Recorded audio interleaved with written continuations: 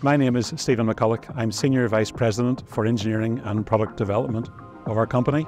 Innovation is really at the heart of Bombardier. Innovation is who we are. Innovation is central to what we do. And the EcoJet uh, technology demonstration platform is really setting up for the tools of the future of our company.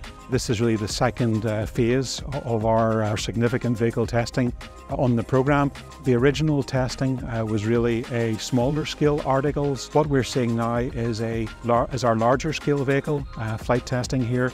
That vehicle has a wingspan of around 18 feet, much more data, uh, much more information, looking at the theoretical possibilities of a blended wing body shape uh, how that would actually operate within the environment of aircraft uh, that, that we design. Vast majority of our research and technology is aimed at sustainable aviation. We want to be the leader of sustainable aviation, and the EcoJet is absolutely targeted at our commitment uh, to sustainability. The pride of this team, the energy of this team, the passion that our employees have for sustainability, the drive uh, that it, it gives people, the ability to go above and beyond of this team is incredible.